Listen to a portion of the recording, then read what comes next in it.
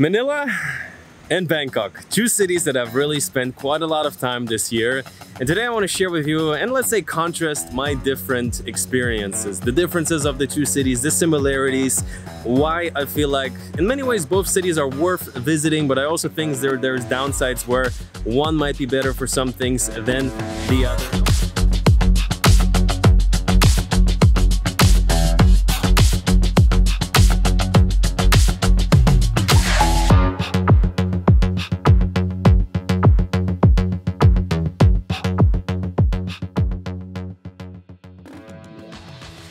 Want to contrast them a little bit. So start out, speaking of Metro Manila, um, uh, population of over 13 million people. Bangkok in contrast, a little bit over 10 million people. So two huge cities like when I speak of Metro Manila there's a bunch of different cities and uh, in a bit I want to take you on the streets of Manila afterwards we're gonna come back a little bit to this island paradise to talk about this aspect of the two cities as well but for now let's dip a little bit into Manila Today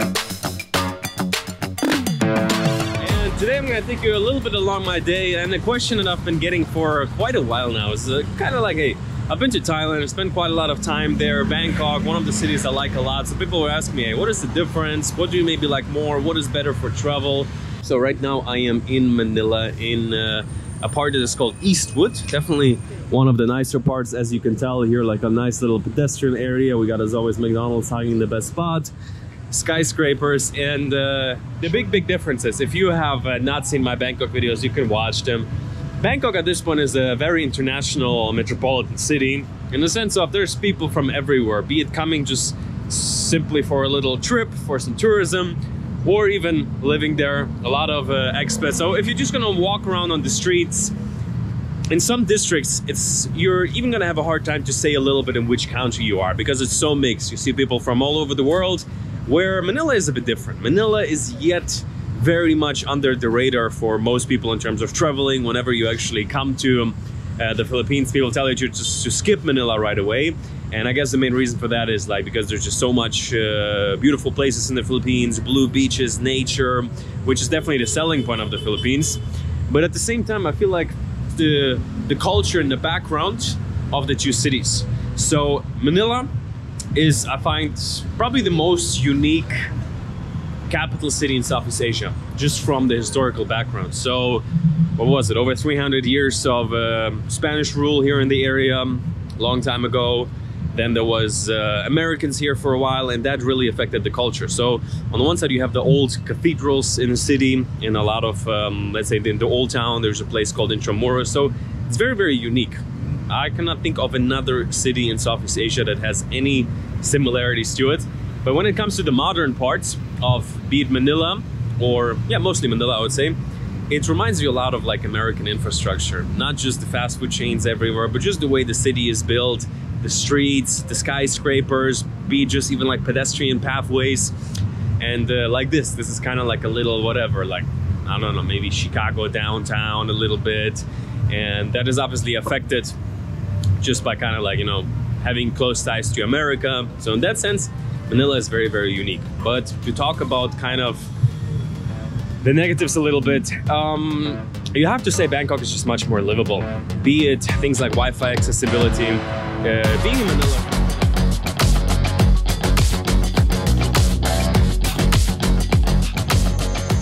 Talking about traveling, living in different countries, or generally being on the internet. I want to show you how you can put your laptop anywhere in the world. And this is where today's video sponsor, Surfshark comes in. So Surfshark is a VPN and helps you to stay safe on the internet by encrypting your passwords and personal data, especially when I'm on the road, I'm in cafes, I'm using public Wi-Fi, a VPN is a really useful tool. Surfshark allows you to virtually travel the world. You can log in on over 3,200 different services all over the world. So what is it? Over 95 countries. And the best part, if you have one subscription, it allows you to log in with unlimited devices. That can be useful, for example, when you're booking hotels. Me being on the road all the time, let's say if you're booking from abroad, you go online, sometimes you will see one price. But if you're locally or just try out a different country, you will see that there might be a different price. On the other side, let's say you're using a streaming service like Netflix. You want to watch yourself a little bit of Batman.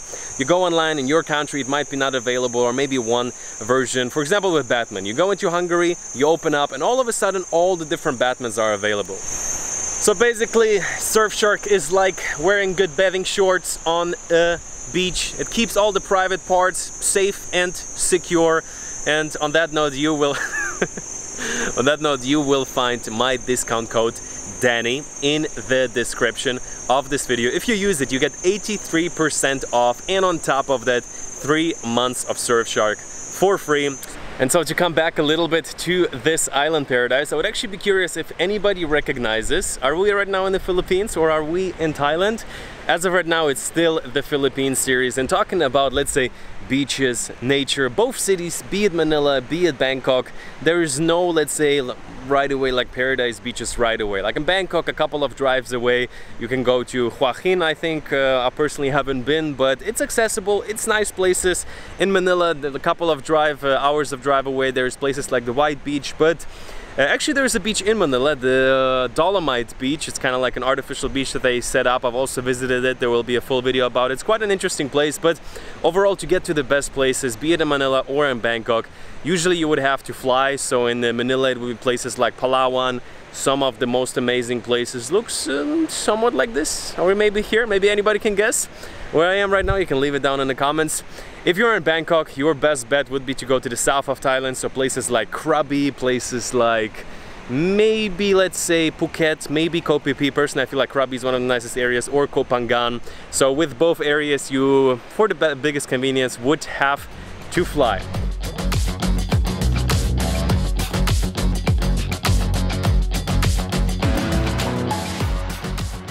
You have to say Bangkok is just much more livable. Be it things like Wi-Fi accessibility, uh, being in Manila for I think in total it was around maybe one and a half, two weeks, I had a hard time getting a good internet connection, even staying at decent hotels. The other thing is Manila is much, much more spread out and the traffic is just intense. So with that, there's a lot of nice areas. Like some people come to Manila and they just stay like in a, let's say a less well off or like definitely not one of the, uh, one of the, let's just say poor neighborhoods of Manila and you might get a bad impression you might leave and think that is the whole city but actually there's a lot of very nice areas uh, like this one, like Makati, like BGC, and they're actually fairly large. It's not just like a little enclave. Like this actually is just like a little nice area, a little bit in the outskirts of Manila. This is how you know it from uh, many cities. There's just like a little neighborhood that is nice, and outside is still like much more uh, older, the city, but like parts like Makati is a huge district, really, really nice. And uh, there you could technically find any major convenience you would want it to, and I'm sure you can also find decent Wi-Fi. While on the other hand, Bangkok is much more connected. Like you can just go for long spurts of walks and still be in a nice uh, modern area. Then you might be gonna walk in into like the Royal District.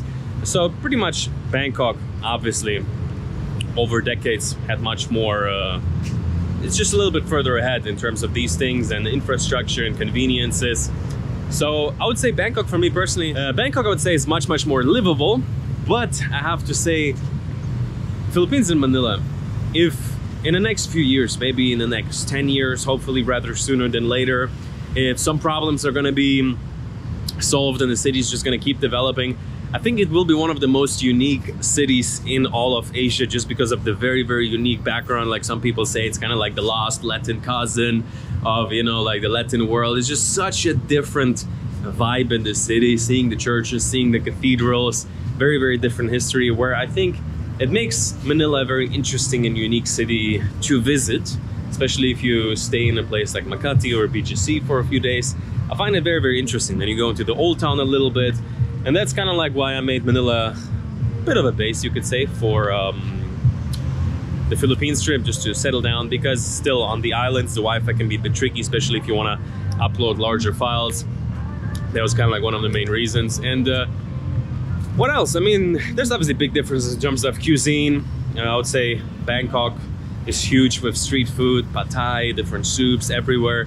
Street food, I would say, is not as big uh, in the Philippines. Like, if you're in a modern area, you're not gonna really have it like that. Like, you, you have to imagine in Thailand and Bangkok, there's like street food absolutely everywhere and like fairly nice. It's like a huge part of the culture. Here it's just restaurants everywhere, absolutely everywhere. I think I ran into one um, street food market on the weekend here in the Philippines, but it's much more kind of like organized and much more like there. I'm sure there's a lot of them, but you have to imagine in Bangkok, if I would be walking around in Bangkok right now, I would have already ran into four like nice uh, pad thai and street food stands, even like in the more modern district in the side corners, which is uh, yeah personally I find it nice. I like it.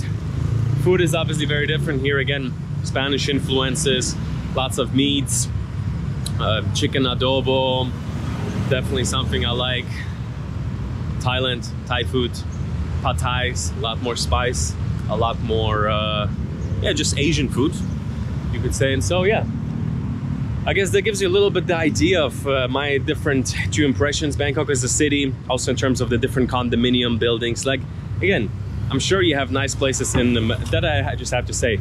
In Manila, you have to pay quite a bit more to stay in a nice place. Like right now here, I think it's close to $100 for like a um, nice hotel room and like a four-star hotel and it's decent. It's still not like great. In bangkok you can get fantastic value for like 40 50 dollars. So that is just again just coming from the fact when there is a lot of competition a lot of different hotels and chains and just offerings in this um, niche. Kind of like if you think of bali that's one of the main reasons why bali is so affordable while at the same time the service is very very high.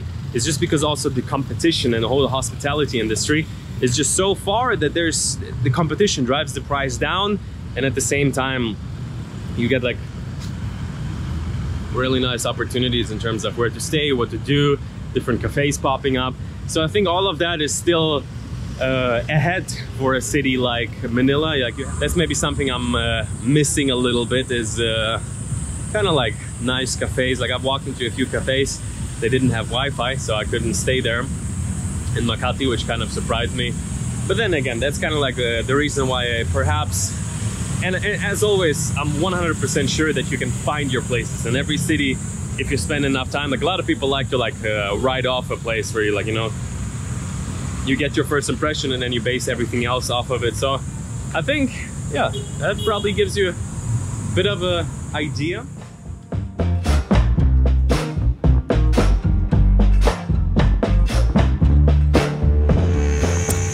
Okay guys, and so I hope you enjoyed today's little talk. So honestly, I would say both cities are absolutely nice to visit. They have their own contrast, their own culture, which makes both destinations uniquely, let's say, interesting. While I think there's a lot of big cities that might be a bit bore, uh, boring, both Bangkok and Manila are very vibrant. Manila with its own like Spanish colonial uh, history, all the different uh, old churches around town, and the thing is, you know, right now I'm walking down the beach here. I'm at Tup Kak beach. If you have been curious, I've kind of like peeked it on before.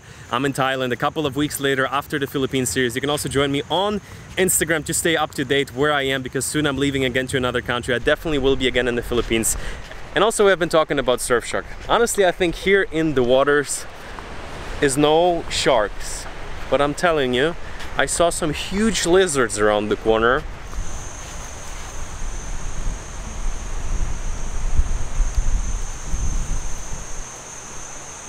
So while a VPN cannot protect you from that, I would say if you see those, you just better run. No, they're actually harmless. They're really scared of you. A VPN protects you when you're on the road traveling, be it on the beach, be it on your computer in a cafe, especially with the public Wi-Fi. Make sure to check out Surfshark below in the description and get three months off with my code Dany. Guys, seriously, the Philippines adventure, like I'm reflecting on it, is already a couple of weeks ago, has been absolutely amazing. But on this note, you too got a world to see. There's so much more beyond the borders of what you're familiar of. Got a World to See was born, and it is all about living and traveling through different countries, all under the premise of finding more. More opportunity, more adventure, more freedom.